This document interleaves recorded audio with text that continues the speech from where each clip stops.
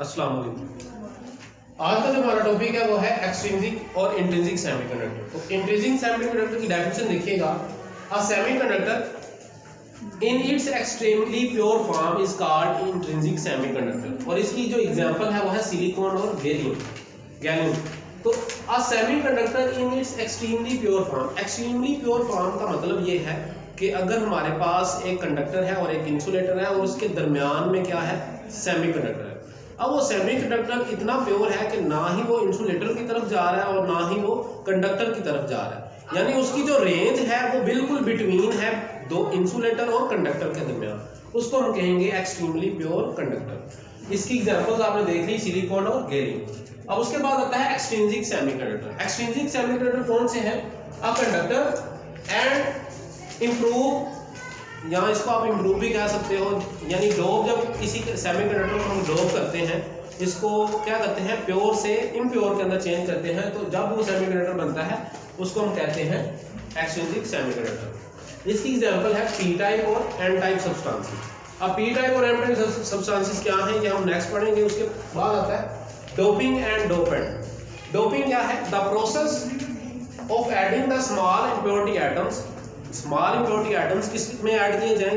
किसी pure semiconductor के अंदर। In pure semiconductor is called doping और इसके अंदर जो फिक्स रेशियो कितनी होती है? ये होती है one to ten to power six atoms यानी अगर हमारे पास एटम्स हैं टेन की पावर सिक्स तो उसके अंदर इन प्योर फॉर्म एक ऐड की जा सकती है। तो इसको हम कहते हैं ये फिक्स रेशियो है।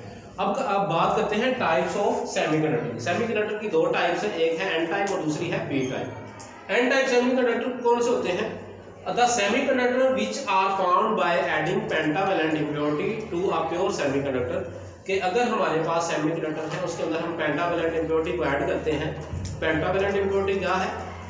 पेंटावेलेंट इम्प्योरिटी है an atom belongs to fifth group have five electrons in valence charge तो ऐसे इम्प्योरिटी आइटम जो कि पाँचवें ग्रुप से उनका ताल्लुक हो तो जो पाँचवें ग्रुप में होते हैं, उनमें एटम्स के ऊपर जो वैलेंस इलेक्ट्रॉन होते हैं, वो भी क्या होते हैं? पाँच होते हैं।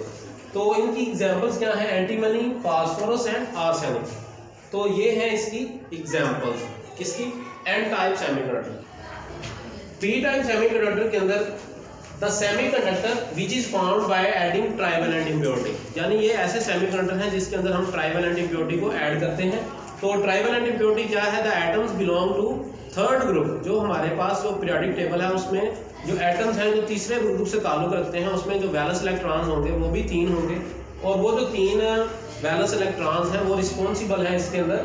पी टाइप सेमीकंडक्टर के अंदर जो डोपिंग होती है, उसके अंदर वो रिस्पॉन्सिबल होते हैं। तो इनकी एग्जांपल्स हैं aluminium boron gallium and indium acceptor and donor impurity acceptor किसे कहते हैं? ये वर्ड का मतलब जैसे होता है ना एक्सेप्ट करना, कबूल करना। यानी ऐसी इम्प्योरिटी जो हमें इलेक्ट्रॉन्स को एक्सेप्ट करती है और डोनर का मतलब होता है डोनेट करना, किसी को दे देना।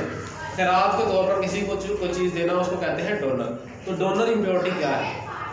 एज पेंटावेलेंट इम्प्योरिटी जैसे कि हमें पता है कि जो पेंटावेलेंट इम्प्योरिटी है, जो कि फिफ्थ ग्रुप से ताल्लुक रखती है डोनेट्स ऑफ़ फ्री इलेक्ट्रॉन वो एक इलेक्ट्रॉन खराब कर देती है किसी दूसरे एटम को so it is called donor impurity तो इस इम्प्योरिटी को हम क्या कहते हैं?